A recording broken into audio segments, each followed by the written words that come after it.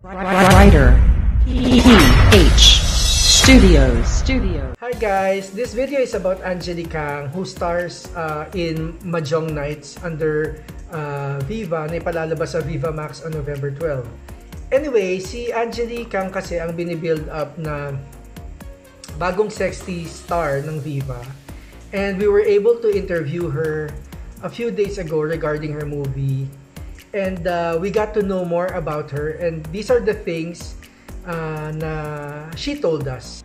Um, nag-start po ako 2017 17 as a cosplayer and from that on, nung pinipicturean ako ng mga tao, mga nagpapapicture sa akin, din ko na-realize na I enjoy being at the front of cameras. And once na, nung may nag-invite sa akin maging model, um, hinab ko na talaga yung opportunity na yon dahil alam ko na um, hindi ako magiging tiyain sa mga camera.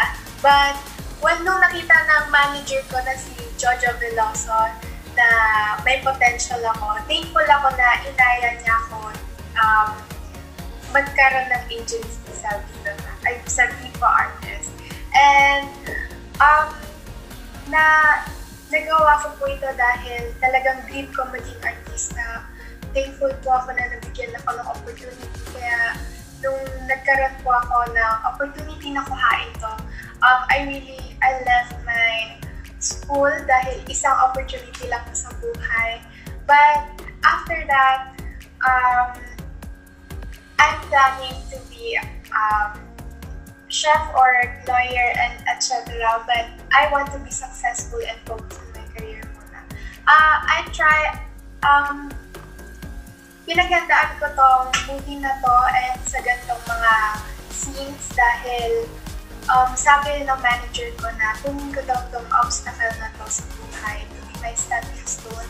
And work hard on it. And once the people see your um, see your efforts and opportunities um, sila na mismo ang tutulong sa'yo.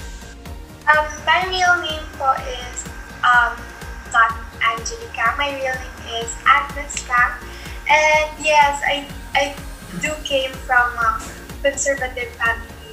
Um, it's really hard na explain sa mom ko, but I'm thankful na end up na so, sobrang supportive niya sa akin. And sabi niya, as long as um, I'm happy on what I'm doing and wala akong pinagtapakan na tao, then she'll be uh, supportive mom to me. Um, when he knew po my modeling, he wasn't supportive dahil ang gusto niya po mangyari sa akin ay um, sundan yung landas na um, sundan yung landas niya as an army. And he said that um, it has a lot of better opportunities than when I become an army, but my heart and mind tell me that gustong gusto ko talaga to. Kaya I got a consent from my mom and she told me just do whatever um, makes me happy. And I'm thankful that um, my mom is supportive. And I think uh, I'll have a lot of explaining to do to my dad.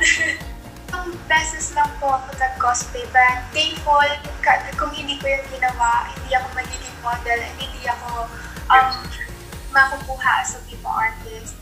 And yung naging role ko po doon, um, it's um, anime na Nico, Nico. Uh, I forgot her name, but yung sinasabi niya lagi, yung lagi ko natatandaan.